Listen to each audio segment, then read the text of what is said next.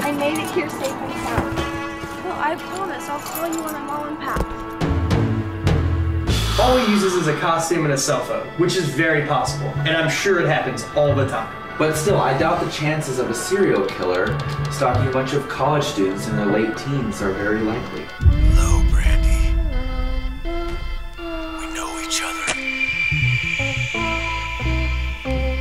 Feel like every single horror movie is the same, especially with slashers. What can I say?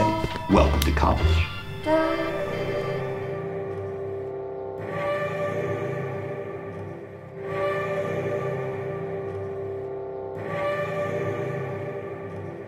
Oh, One of the detectives said that because of the multiple stab wounds that he thinks it's a crime of passion or rage. Steven. Hell hath no fury like a woman scorned.